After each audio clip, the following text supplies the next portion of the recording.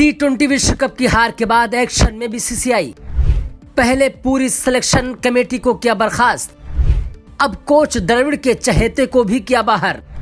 अगला नंबर किसका? हार से बेहाल टीम इंडिया कोच और कप्तान दोनों को सता रहा है ये डर।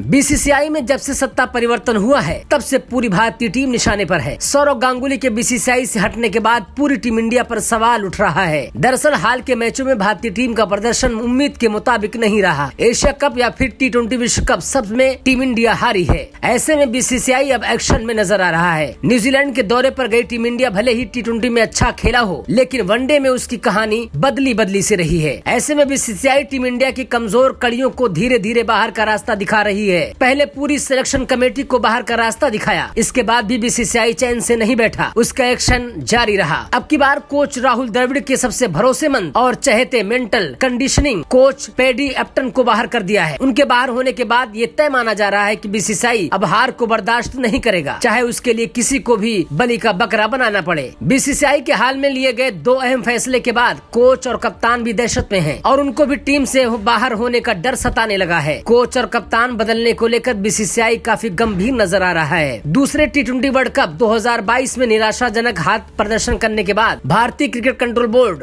लगातार कड़े फैसले ले रहा है। बोर्ड ने अपनी टीम के mental conditioning coach Paddy Upton के कॉन्ट्रैक्ट को खत्म कर फैसला लिया है। अपटन को वर्ल्ड कप से पहले ही भारतीय टीम के साथ जोड़ा गया था और टूर्नामेंट तक ही कॉन्ट्रैक्ट दिया गया था। अब बोर्ड ने उनके कॉन्ट्रैक्ट को आगे नहीं बढ़ाने का फैसला लिया है। भारतीय टीम जल्द ही वनडे और टेस्ट सीरीज़ के लिए बांग्लादेश रवाना होने वाली है। अपटन को जुलाई में भारतीय टीम के साथ जोड़ा गया था, जब हेड कोच राहुल द्रविड़ ने मेंटल कंडीशनिंग कोच की मांग की थी और उन्होंने भारत के वेस्टइंडीज दौरे के साथ टीम के साथ काम करना शुरू किया था। लेकिन वर्ल्ड कप के दौरान उनकी काफ़ी आलोचना भी हुई थी। अपटन का कॉन्ट्रैक्ट आगे बढ़ाने से इनकार करने से पहले बोर्ड चयनकर्ता समिति को हटाकर एक और बड़ा फैसला ले चुका है। बोर्ड ने मुख्य चयनकर्ता चेतन शर्मा समेत कई लोगों को बाहर का रास्ता दिखा चुका है। भले ही अपटन का भारतीय टीम के साथ दूसरा कार्यकाल अच्छा नहीं पाया गया, लेकिन पहले कार्यकाल में वो काफ़ी सफल रहे थे। 2008 से 2011 के बीच अपटन ने भारतीय टीम के साथ काम किया था और 2011 वर्ल्ड कप जीतने वाली टीम का हिस्सा भी रहे थे। तिरपन साल के अपटन का चयन टीम के कोच गैरी कृष्णन के साथ हुआ था। राजस्थान रॉयल्स के लिए अपटन और द्रविड़ कोच स्टाफ के रूप में काम कर चुके हैं। इससे पहले वर्ल्ड कप में हार के बाद हाहाकार मच गया था और बीसीसीआई ने चेतन शर्मा समेत पूरी सिलेक्शन कमेटी को बर्खास्त कर दिया था। भारतीय क्रिकेट कंट्रोल बोर्ड यानी कि बीसीसीआई ने एक बड़ा कदम उठाते हुए चेतन शर्मा की अगुवाई वाली राष्ट्रीय चयन समिति को बर्खास्त कर दिया। बर्खास्त होने वाले चयनकर्ताओं में चेतन शर्मा, उत्तर क्षेत्र के अलावा हरविंदर सिंह,